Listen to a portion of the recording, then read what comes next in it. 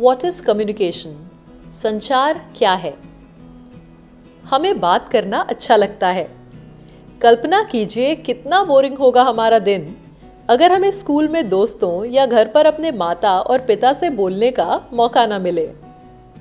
हम मूल रूप से हर रोज सभी के साथ किसी न किसी रूप में संचार करते हैं। लेकिन क्या बात करना संचार का एकमात्र तरीका है? नहीं। क्या आप विश्वास करेंगे?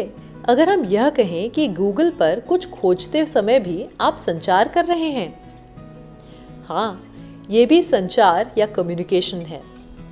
कम्युनिकेशन के विभिन्न रूप हैं और हम हर समय उनका उपयोग करते हैं। खाने की मेज पर अपने पिता के साथ बातचीत मौखिक, यानी वर्बल कम्युनिकेशन का एक उदाहरण है।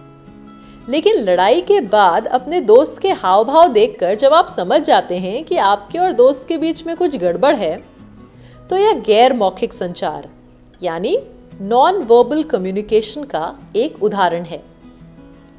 आपका दोस्त आप पर अपने गुस्से को मुँह मोड़ने, आँखें न मिलाने आदि के ज़रिए व्यक्त करता है और आप इन नॉन वर्बल संकेतों को भाप सकते हैं और समझ सकते हैं कि वो आपसे नाराज़ है। सही सूचना को सही ढंग से एक व्यक्ति से दूसरे व्यक्ति तक पहुँचाने को ही संचार, यानी कम्युनिकेशन कहते हैं।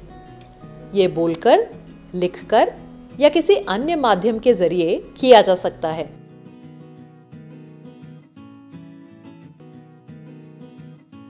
कम्युनिकेशन कई प्रकार का होता है। जब आप एक कॉल करते हैं तो आप मौखिक संचार, यानी वर्बल कम्युनिकेशन में भाग ले रहे होते हैं। जब आप अखबार पढ़ रहे होते हैं या इंटरनेट से एक रेसिपी पढ़ रहे होते हैं तो आप लिखित संचार, यानी रिटन कम्युनिकेशन के माध्यम से जानकारी ले रहे होते हैं।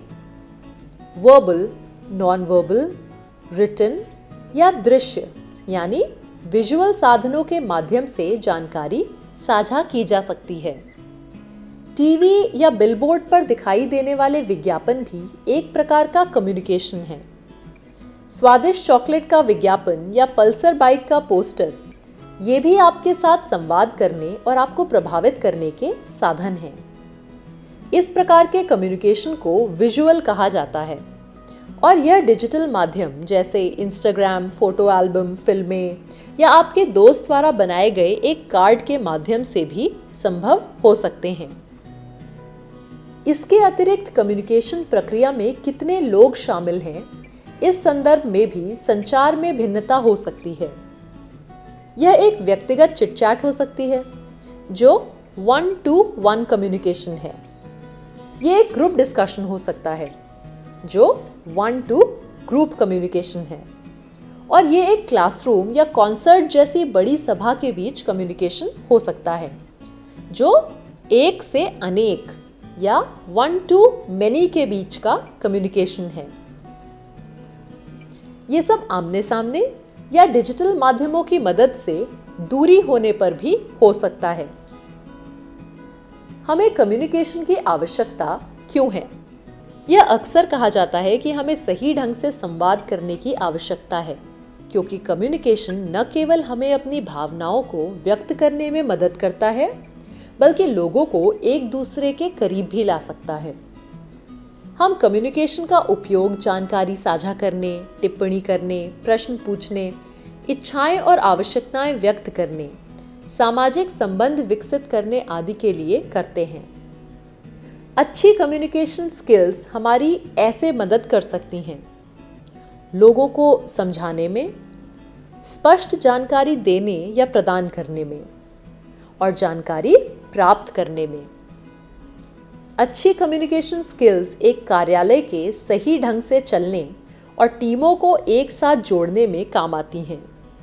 एक दूसरे से बातचीत न कर पाने पर गलतफहमी और निराशा पैदा हो सकती है। सही ढंग से संवाद न करने से दैनिक जीवन में गंभीर नुकसान हो सकता है और व्यक्तिगत और पेशेवर दोनों क्षेत्रों में रिश्ते बिगड़ सकते हैं।